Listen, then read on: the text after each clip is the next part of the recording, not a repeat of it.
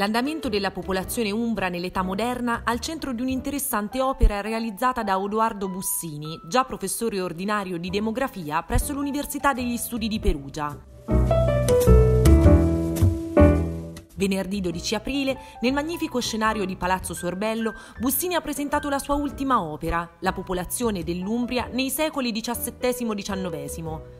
un appuntamento al quale non hanno voluto mancare diversi esponenti del mondo accademico, divenendo un'occasione importante per celebrare la demografia perugina e per rendere omaggio al lavoro e alla professionalità di Bussini, per anni pilastro del Dipartimento di Statistica della Facoltà di Scienze Politiche. Fino all'Unità d'Italia ovviamente non c'erano fonti ufficiali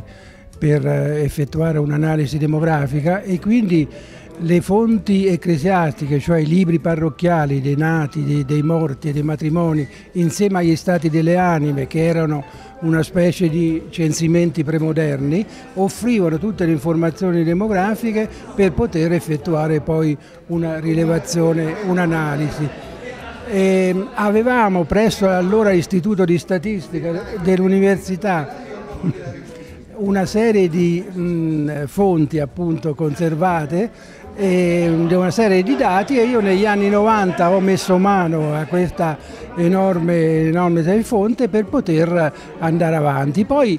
ovviamente per l'intero territorio regionale non era possibile avere tutti i dati e quindi ci siamo concentrati soprattutto sul territorio della diocesi di Perugia che però eh, ovviamente era molto ampio, era poco meno del 40% dell'intero territorio provinciale e lì eh, con, attraverso un'indagine campionale siamo riusciti a, a mettere, in, diciamo, a analizzare tutta l'evoluzione dal eh, 700 fino all'unità d'Italia.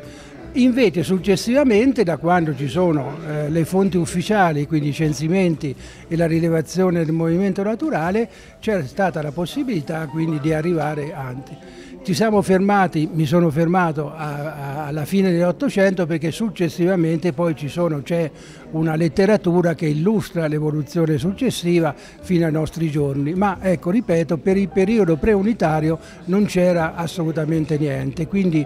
abbiamo fornito insomma, dei dati che a disposizione di chi vuole approfondire ulteriormente il problema. In termini generali, per l'intero territorio regionale, già le stime del Belloc, uno studioso di popolazione che aveva fatto stime per eh, tutti gli ex stati unitari in Italia, dava un ammontare di popolazione all'incirca di 300.000 abitanti a fine 500. Poi cosa è successo? Nei due secoli successivi, 600 e 700, si è eh, avuta in pratica una stazionarietà e quindi una crescita molto molto lenta e tanto che eh, all'inizio dell'Ottocento, secondo il primo censimento pontificio del 1817, c'erano 344.000 e poi la crescita è avvenuta dopo il 1820 e eh, al primo censimento del 1861 eravamo arrivati a eh, oltre 400 eh, e poi soprattutto l'impennata forte è venuta dagli anni 80 dell'Ottocento fino al 1920-21, che è il censimento, perché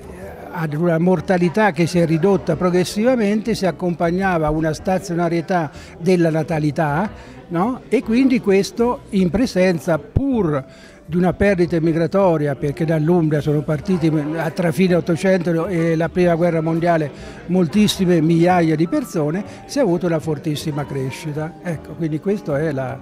la sintesi in pillole. La presentazione del libro di Bussini è stata aperta con i saluti del presidente della Fondazione Ranieri di Sorbello, Ruggero Ranieri, e del professor Ambrogio Sant'Ambrogio, direttore del Dipartimento di Scienze Politiche. A coordinare il pomeriggio è stato invece il professor Mario Tosti dell'Università degli Studi di Perugia. Oltre all'autore è intervenuto anche Lorenzo Del Panta, già professore di demografia presso l'Alma Mater Studiorum, Università di Bologna.